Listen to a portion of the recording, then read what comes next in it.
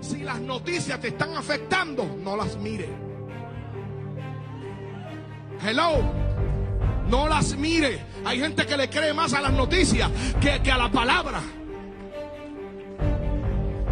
Hay gente que está, mi hermano, en depresión. Hay gente con pensamientos suicidas. Hay gente pensando en cuántas cosas porque miró la noticia y el sistema te está llenando la mente de cosas negativas. Las redes sociales te están llenando la mente de cosas negativas. Mire, mi hermano, si eso te hace daño, apaga la, apaga la tele, apaga el canal, apaga todo. Aleluya, quítate de las redes y métete en la palabra de Dios y llénate de la palabra porque hace falta alimentar la fe.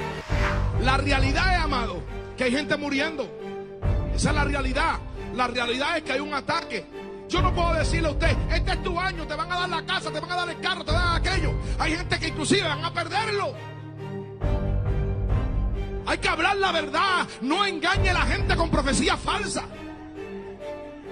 No se puede engañar la gente, hay que decirle la realidad. Ahora hay que decirle, hay que tener fe, aunque pierdas algo. Hay que tener fe. Porque ¿qué, qué pasó con el apóstol Pablo? Pablo tuvo fe, aunque se le rompió la embarcación. Pablo tuvo fe, aunque estaba ahí náufrago. Pablo tuvo fe, aunque estaba solo. Pablo estaba, eh, tuvo fe, aunque estaba ahí como náufrago en medio del mar sin saber qué iba a hacer.